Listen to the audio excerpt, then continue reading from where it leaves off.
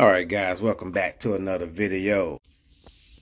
So, we're starting the 6S Typhon Mega bill once again after the crash. So, I found this Typhon Mega on eBay for 120 It needs a little TLC, but hey, I just needed uh, a chassis. I needed a donor, so uh, so with that being said, the little work that need to be done on this is gonna be easy. So um, anyway, this thing came ready to run. I mean everything. It had still has stock electronics.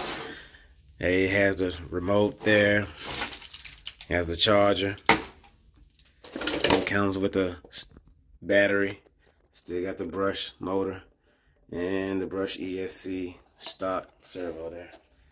So basically, this was actually a little bit cheaper to do it this way instead of buying a chassis and then buying all the parts that I needed. I do have a bare chassis coming because I do want to build something with all the extra parts that I have.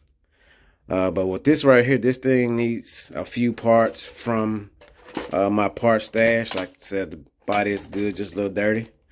Uh, one of the things that's wrong with this is the front end here.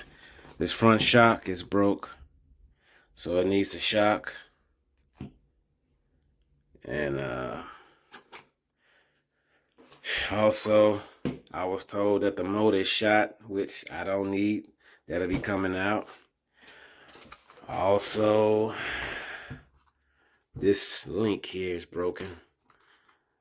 And so that's not an issue. I have that part in the part stash. And that's really it. That's broke on this Typhon here. So um, you can see a little few scuff marks on the uh, drive shaft here. Whereas I guess it's been scrubbing up against something. But I'm actually going to replace this with a aluminum drive shaft here. Uh, I don't know what's what actually caused that. Maybe it's, I don't know.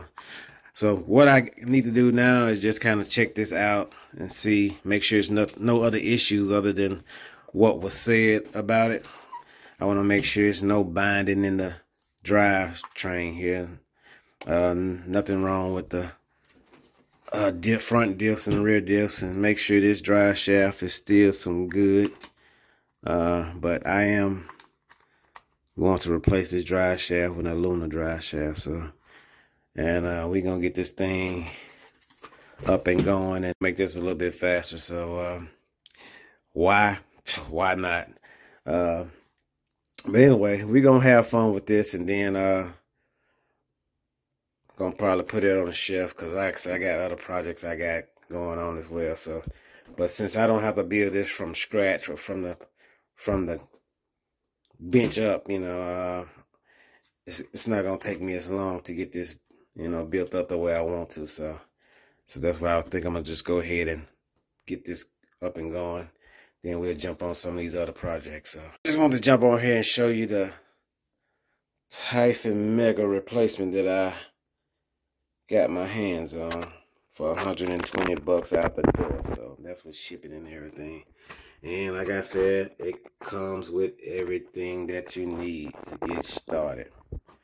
Just have to replace a few things on here. So, uh, like I said, everything else, the chassis is scratched up at the bottom, but that's that's gonna be one of the things that you see on all of them if they've been used. So, there's no cracks, uh, no holes A-arms look good, no cracks. So that's what I'm looking for. That was one of the things I was looking for when I got this. I actually was looking just for a roller or a slider.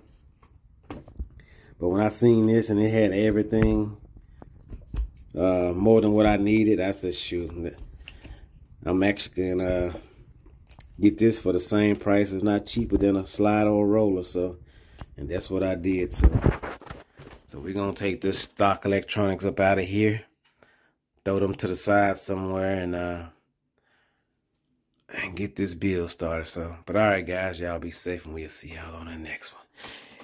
Yeah.